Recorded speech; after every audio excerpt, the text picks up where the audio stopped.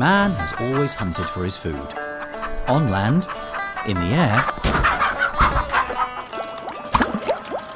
and at sea.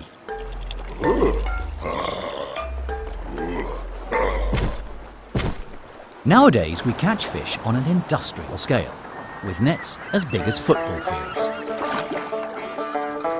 But we still hunt fish for pleasure and sport.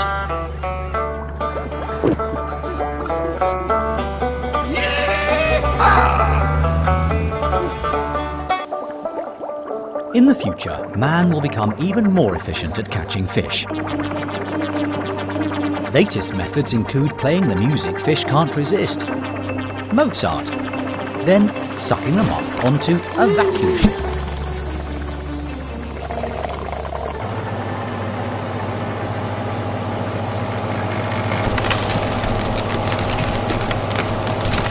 Impressive.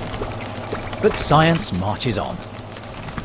Let me introduce the Ice and Dice aerial trawler, which freezes a large chunk of ocean, lifts it out, and flies it straight to the fish factory.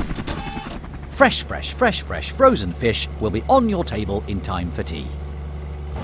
Ah, so very efficient. What?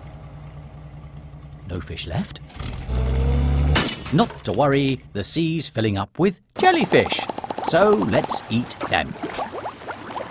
If we want to eat fish tomorrow, we need marine reserves today.